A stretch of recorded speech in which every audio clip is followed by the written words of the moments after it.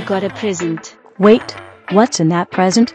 Just open it. What the heck?